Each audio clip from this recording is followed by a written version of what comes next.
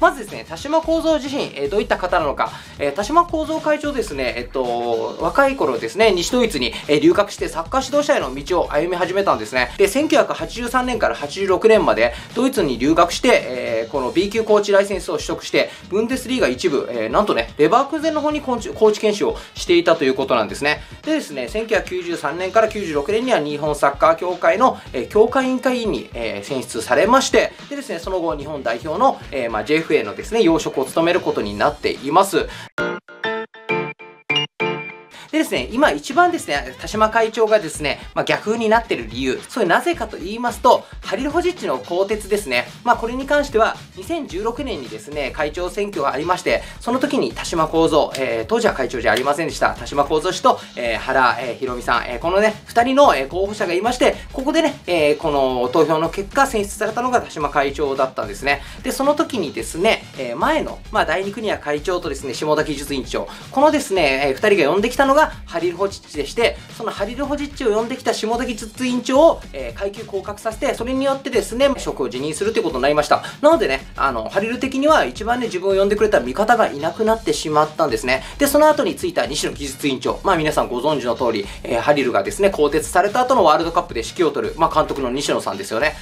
もしかしたらこのね、解任から日本人に任せるっていうところ、まあ、それもですね、自分の政権じゃない時に決まった監督でしたので、このね、自分が政権を取った後のですね、まあ、規定路線だったんじゃないかっていう、そういう見方もできると思います。でですね、まあ僕自身、このね、解任時代には別にノーと言うつもりはありません。なんならハリルホジッチのサッカーには日本代表と、えー、日本人のね、特徴と、えー、このね、照らし合わせると矛盾の方が多かったです。プラス、ハリル自身もですね、あの、結果に、まあ一喜一憂と言いますか、そこでメンタルがですね、まあちょっと、えー、落ち込んで、それを選手に見せてしまって、選手の不安を煽るといった、まあそういったところもありましたし、えー、ゾーン戦術ができないというふうにハリルが思った、せいなのか、マンマーク戦術を徹底するせいでですね、格上相手にマークのズレを逆にね、えー、作られてしまってやられてしまうという、そういう現象への対処をしていなかったので、そういったね、サッカー的なディティールの部分で、ハリルにはですね、おかしな部分がたくさんありました。それでもですね、解任した時の、このね、田島、えー、会長のですね、記者会見が非常に良くなかったですね。それが信頼関係が薄らいだとか、コミュニケーションの問題とかですね、選手たちからの聞き取りの結果っていうようなですね、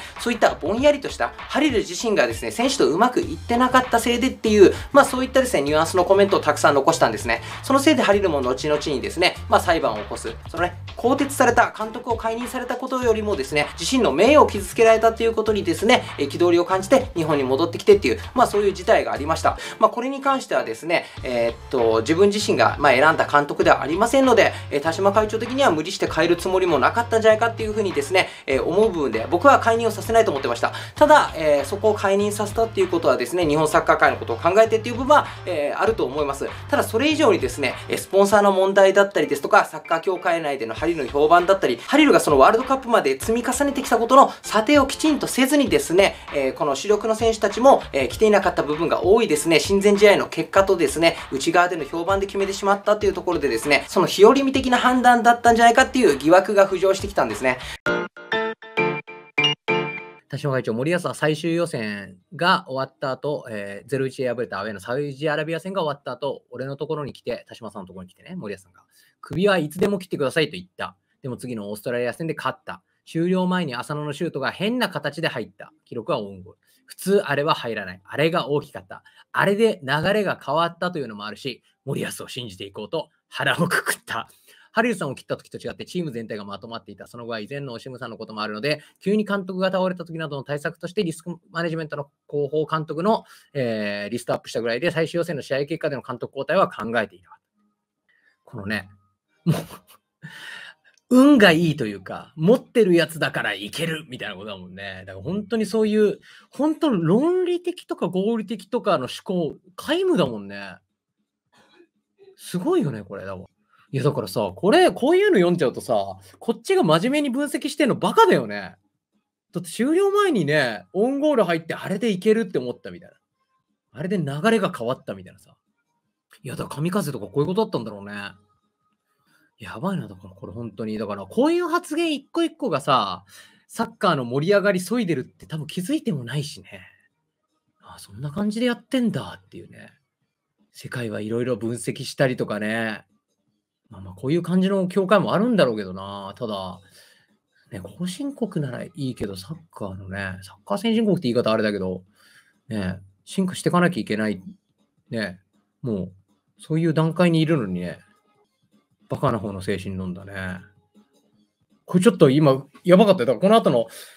ね、日本人だからというより森保だからいいというのは正しい表現っていうのはまあね、別に国じゃなくて人を見て決めてんだよ。これは全然いいじゃん。うん。個人的な意見だけど、日本人監督が最終予選きついね。プレッシャーが強すぎる。家族や周りの人もプレッシャー感じるだろうし、監督本人もそれを気にしてしまう。外国人監督は新聞読まない人多いし、家族もそれほど圧力感じないのではない。いや、なんか、デリカシーなさそうだな、このおじさん。いや、外国人監督の方がさ、風当たり強くなるとこもあるじゃん。結果出せや、みたいな。別に通訳はいるし、そういうの気にしてハリルとかもね、あんな感じになってたしな。外国人監督だから大丈夫みたいな。むちゃくちゃ偏見だよね。田島座フットボールだったね。どうも。外国人監督だと新聞読まないから、プレッシャーはきつくないよね。で、おなじみ、田島座フットボールですってなんでしょう。このハリルに対してですね、コミュニケーションの問題とかですね、信頼薄らいだとかですね、きちんとした理由を言わずに記者会見でもお茶を濁すような、その説明不足というところがですね、まあ問題なんじゃないかと、その田島さん自身の著書で出てきたのがこちら。はい、言語技術が日本のサッカーを変えると。これをね、見つけた瞬間僕はもうね、あの、擁護しきれなくなったわけなんですけれども、言語技術が必要だと言ってた人がハリルの介入に関してですね、えっと、勝敗ではなく信頼関係とかですね、えー、そのコミュニケーションの問題って言っちゃってるところどうなんだっていうので、まあね、こう矛盾が生じたわけですね。で、この本の中だけでもですね、すごく矛盾を感じる箇所が田島会長に関しては多いんですね。例えばですね、えー、っと、表現力の問題でですね、一つは自分が考えていることを言葉に出して明快に表現するということが身についてないっていうふうに、まあ、このように、まあね、あの、えー、若い子たちのことについて語ってるんですけど、そこでですね、ただなんとなく曖昧なまま行動し、それで納得している、活躍します。えー、両親に対して別にとか微妙とかで受け答えしていること自体が問題なのですっていうふうに言ってるんですね。ただ、この後のですね、えー、田島、えー、会長のですね、本の中で、現在の教育システムに関してこういうふうに語ってるんですね。えー、間違ったことを言うのを恐れ恥ずかしがる気持ちがとても強い現在の教育システムの中に、そんな雰囲気を感じるのですっていう、雰囲気っていうふうにね、言っていまして、で、これもそうですね。かつての日本のスポーツ界は確かに考えることや表現することはあまり重視してきませんでした。えー、根性や体力で勝負すればいいという雰囲気が蔓延していましたという。雰囲気っていうね、こう、どういった指導が当時あったのかとか、そういった論理的な根拠を提示していない。まあ確かにそういう雰囲気はあったっていうのは今もありますし、わかるんですけれども、それをね、本にするんだったら、うん、なんかこう、論理的な根拠でね、こういった指導をしていたチームが高校サッカーでこのような成績を収めていてとか、そういうのがですね、必要なんじゃないかなっていうふうに思うのと、あとこのようにも言ってますね、えー、監督に関して、えー、いい監督の話ですね。声が小さくてもダメです。前置きが長すぎてもダメ。せっかくいいアイデアを持っていても相手に伝わらないとしたら、能力はないのと一緒です。滑舌も必要。限られた時間で舌を噛んでばかりいたら聞き取れないですから。あれ今の代表監督どうでしょうっていうですね。田島さん自体がいい監督って言ったのと、あなた選んでる監督のそこの差すごいよって、また矛盾あるよっていうのありますし。なんで、基本的に矛盾の人なんですよね。なんで、そんな人が今の会長のトップに立ってるっていうのは、このね、自伝を読んでいくとどんどんね、あの、掘り下げることができるという感じで。まあ、森保さんに関して JFA の田島会長が言ったんだけど、この、なんか日本代表の現状はっていうので、一部ファンから解任求める声もありましたよっていうやつなんだけど、なんかあの、僕は決して評価が低いと思ったことはない、しっかり勝ってきてるし、みたいな。だ評価低いと思ったことはない、別にそういう、何、印象を受けてないみたいな。で、あのー、その後にさ、えー、っと、喋ってるところで、あ2010年のワールドカップ直前も成績不振で岡田監督に批判が出て続投させたがみたいなことに関して、当時は協会内部にも、えー、岡田じゃダメだという人たちもいたが、チームがすごく固まったからそこまでいけた。当時とすごく似てるって言ってて。そう。なんかあの、当時とすごく似てるってことは、協会内部にダメだっていう人いるんじゃないかなって思ったんですよ。評価低いと思ったことないって言ってるんだけど、評価が低い声は聞いてる感じだから、似てるんだったら言ってること矛盾あるな、みたいに思って。誰も言ってないけど、状況が悪いみたいなことなのか。で、すごい結束してるみたいな。結束できる理由はっていう質問なのかなに対して、選手が自立し、勝つために何すべきか理解してるみたいな。森保監督は信念を持ってるからだみたいな。多くの選手が海外に出たことも大きいって言ってんだけど、いろんな選手がさ、あの、約束事が欲しいとか、哲学がないとかさ、守備の哲学がないとか、ね、攻撃の時のデザイン性欲しいって三笘とかさ、南野とか言ってんじゃん。で、今回の久保もそういうことなの。約束事が欲しいって言ったやつって。だからもし、ね、ちょっと久保のやつは見てないんだけど、そうそうだとしたらさ、いや、みんあの信念持ってるからだってね、この選手が自立し、勝つため何すべきか理解してるって言ってるけど、理解してる選手約束事欲しいとかさ、哲学ないとかさ、守備の形欲しいって言わないじゃん。そう。だから結構現場の声聞けてない系会長だな、みたいな。で、ワールドカップの後ですね、日本代表なんか嫌いだ、応援なんかしないと言ってくださった方にも関心を持ってくださったという意味で感謝しなければいけないと思ってます。ものすごいすり替えてるんですね。あなたの決断がおかしかっただけで別に日本代表は嫌いになってないみたいな。あなたが日本代表からね、えー、あの、退いてくれたらもっとスムーズに応援できるよみたいなのをですね、なんか自分の人気のなさを日本代表にすり替えたみたいなところがありまして、で、2019年の E1 の韓国戦の後、まあこのね、チャンネルでも分析して取り上げましたけれども、そこでの、えー、田島会長の試合後のコメントです。今日のところは開始15分にわっと来られた。わっと来られたっていうね、言語化技術が大事って言ってる人がわっと来られたねっていう、あのわっと来られるところをちゃんと意識しないとねっていう、そういう感じになってまして。で、コロンビア戦の後ですね、前半は3本いいパスが繋がって1本ミスするっていう、このチームが目指すものがだいぶ見えているけども、最後のところでミスが起きるとうまく成就しない。後半同じミスがどんどん続くと相手にペースを捉えてしまったし、シュートになかなかたどり着けなかった。相手がですね、5バック用のプレスの仕方と、あと日本がね、541で前からプレスをかけるときにですね、ズレを作るような、そういったビルドアップの構造を作ってたんで、決してね、単純なね、ヒューマンエラーで起きたですね、その敗戦ではないんですね。なんてそういったところを普通に選手がミスってんなっていう、そういった結論にしてしまっていますし、最後これびっくりしますよ。アンダー23同士の対戦ですよ。若いなっていうのが最初の感想というわけで、相手も若いよっていうね、うん、こういうですね、まあ、田島語録みたいなのがむちゃくちゃ多いんですね。東大での講演会での資料、これ見たことある方いますかね？これね、イティサカさんというツイ、えー、方のツイッターから引用させていただいて、明日からドキュメントアップされる、そこのね、スタッフの子が実際にね、東大の子で講義を直接受けたそうなんですけど、これですね、日本が一番調子がいい時が、グラフの一番下のね、青のところで一番右まで行くと。で、他のコロンビア、セネガル、ポーランドが調子悪い時は左端だと。なんで日本が調子いい時に相手の調子悪い時と当たったら勝ってるみたいな。ただこのグラフね、別に点線とかついてますけど、数字とか根拠なんもないですね。なんで、島会長は自分のイメージを図にして伝えたい癖のある人なんですね。あの、いいサッカーってなんでいいか分かってないですよ、田島さんって。あの、昔さ、あの、動画で取り上げたけど、日本がワールドカップの時に、セネガル、コロンビア、ポーランドで、ポーランドの能力このぐらい、セネガルの能力このぐらい、えー、えー、っと、どこだっけ、えー、っと、コロンビアの能力このぐらい、で、日本の能力このぐらい。日本が一番調子いい時と、他が調子悪い、ここが重なれば勝てるみたいな。謎の別にそのデータなし。そのグラフだけ。何これみたいなって。で、それ東大の講義で、あの、稲尾キッカーズ行ってたじゃないですか。稲尾キッカーズに、えー、レオザの分析に行ってた時に帯同してくれたスタッフになってくれた子がいて、その子が、えー、東大で、その子が直接見たんだったかな聞いたんだったかな。で、じゃあもう最後に質問しようと思ったんだって。したら、スタッフの終わった瞬間、なんかスタッフの偉そう、偉そうというか、ボディーガードみたいな人たち来て、質疑応答なしで帰った。で、これに関しては他ネットとかでもそれ書いてある人いて、でなんでかっていうと、その前に筑波大で講義したときに、ハリルの解任の件、筑波大の学生に問い詰められて、指導モードで答えられなくなったから、それのせいじゃないかって言われてる。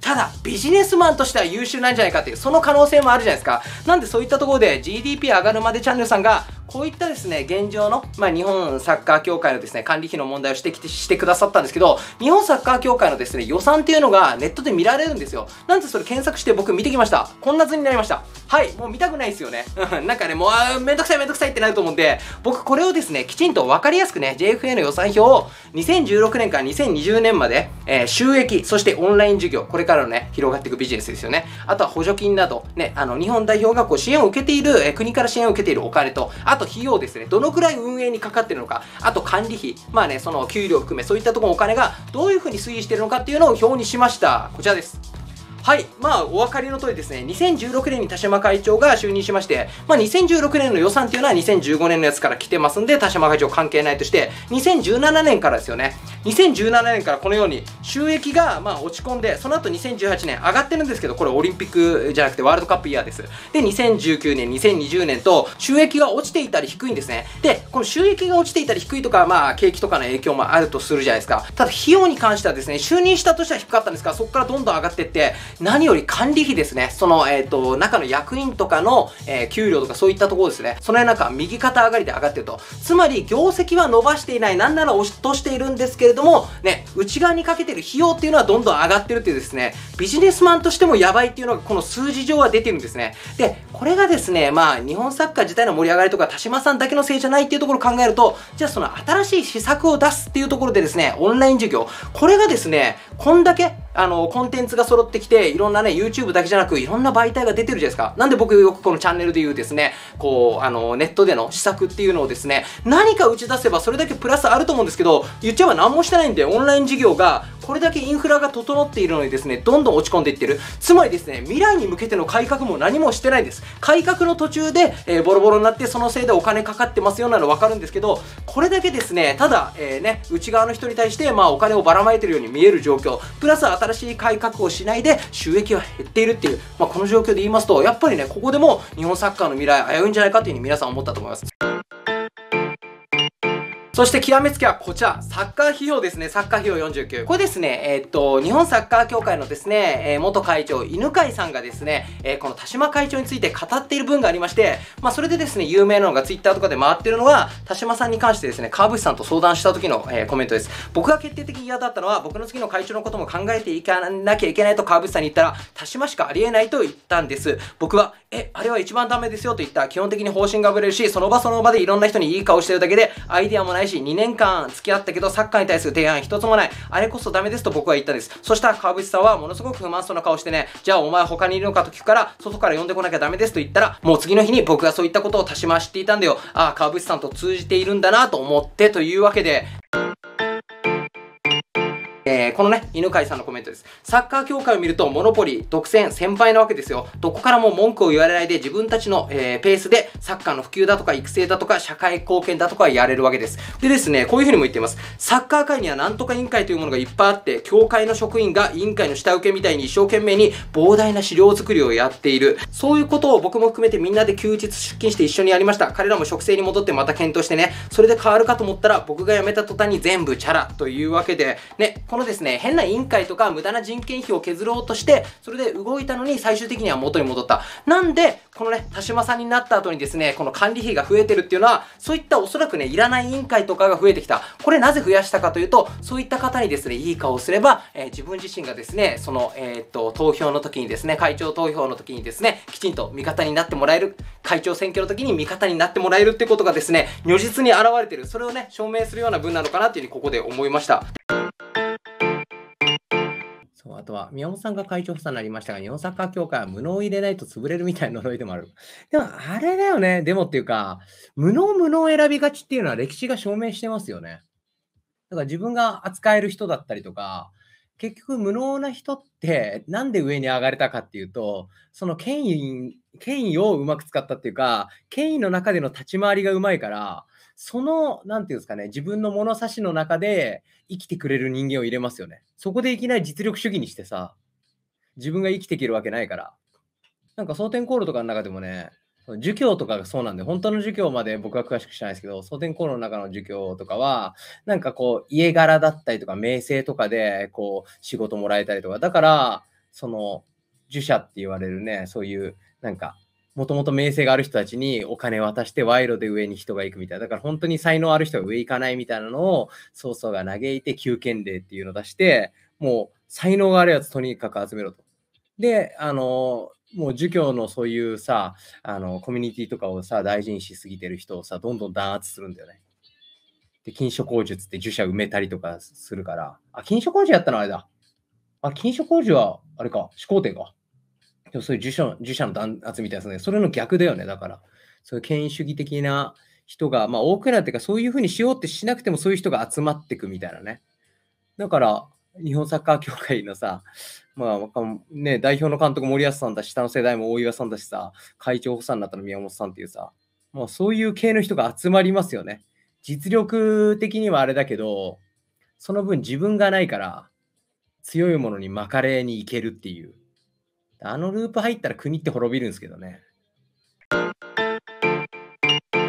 で、今回投票権を持ってた人、各都道府県協会代表や J1 クラブ代表、関連団体代表者ら75人っていうじゃないですか。このね、関連団体だったりとか、都道府県の人たちの、えー、その投票、これがですね、いかにですね、意味のないものなのかっていうのをここで語っています。理事会だって、評議委員会だって、協会のやることに異を唱えたり、反論したりすると、予算を減らされたり、いろんな形で所属協会に迷惑をかけるから、口にしないんだと。なんでね、ここで反対票なんか投じたら、その人をね、追い落とせれるならいいですけれども、ね、確実に票が集まりそうな人には、賛成を入れとかないと。自分で悪いことだって分かってても、入れておかないと、自分が属している協会が JFA には目の敵にされてしまって予算を削られる。ってなると、それは票を入れるよねっていう風に、まあ、なるっていう、そういうね、すごい闇が見えてきました。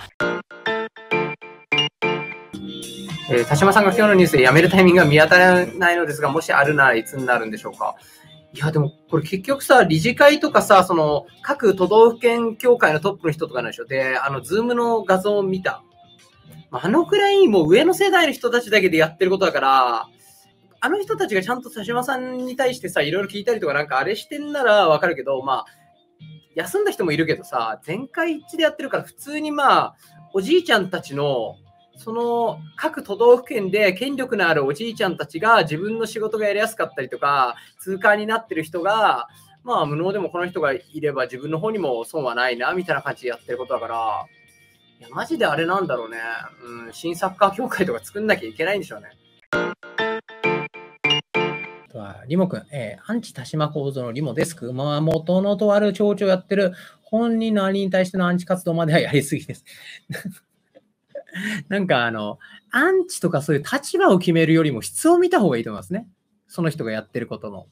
なんかこう、罪を憎んで人を憎まずじゃないですけど、僕は別に森保さんを嫌いじゃないですから、ただ、森保さんが日本代表の監督をやって、そこで、えー、している行動が、日本サッカーの進化につながらないどころか、日本サッカーの目の前の勝利につながらないことをやってるから、それに関して指摘をしてるんですよ。で、その指摘がどうしてもやってるサッカーの内容によって多くなるから、僕が森保さんのアンチって思ってる人が多いんですよ。でもこれはしょうがないですよ。だって、森保さんがもう本当、餌ばっか巻いてるから、僕はもう食いつくしかないんですよ。こういう仕事だし。なんだけど、あの、田島さんのお兄さんがどんな活動して何してるか。だからもうそこはもう分けて考えて、例えば熊本の町長でひどいね、えー、町への政策とかやってるんだったら、それは言ってもいいです。まあ、それもその町の人にしかない権利だと思ってますけど、僕は日本に住んでて日本のサポーターだから言ってるけどね。別に森保さんがどっかのクラブの監督やってたら多分ね、あ頑張ってくださいってだけの話ですから。そだからそれで言うと、まあ、別に僕の考えに全部ね、見に来てるだけの人が乗っ取る必要はないですけど、僕はその人の行動を見て、一つ一つ判断して言うべき時には言った方がいいっていうふうに思いますね。真面目か。そうだから、この人だからダメ、この人だからいいみたいなのは、正直僕もやられてる側ですからね。でもそういう人が自分のことを、レオザフットボール TV に来る人には一人もいないでほしいなって思いますね。